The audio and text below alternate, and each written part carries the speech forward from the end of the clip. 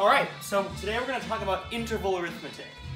Um, interval arithmetic is an interesting type of arithmetic um, that will help us a lot when graphing equations.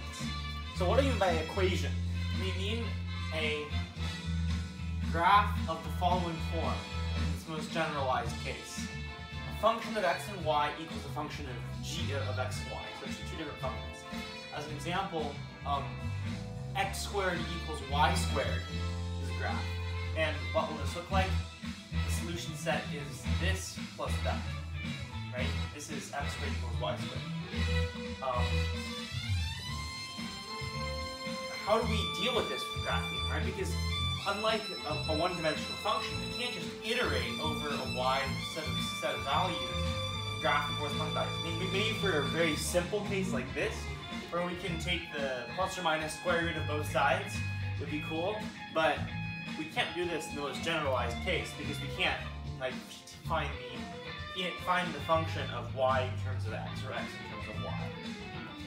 So what do we do? Well, the answer is we use interval arithmetic. This is quite cool.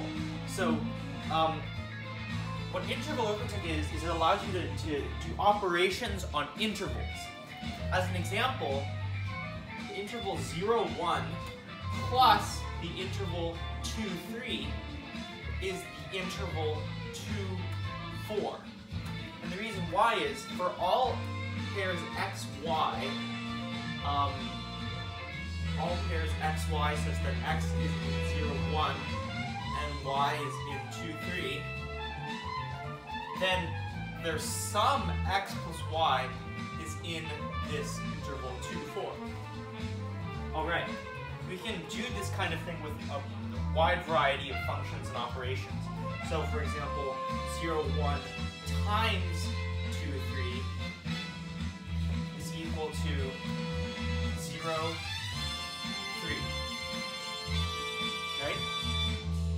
Now, the way that we can use this is we can figure out in some domain, in some rectangle of the plotting space, we can figure out approximately the range of the equation there. So first of all, we take this equation and we rearrange it to be f of x comma y minus g of x comma y equals 0.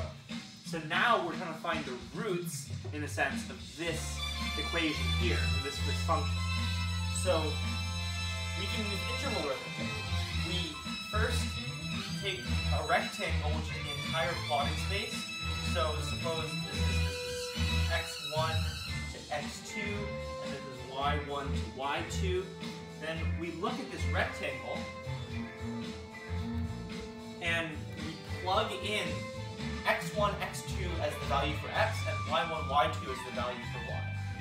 This should be flipped, sorry. So we evaluate f of x1, x2, y1, y2 minus g of x1, x2, y1, y2.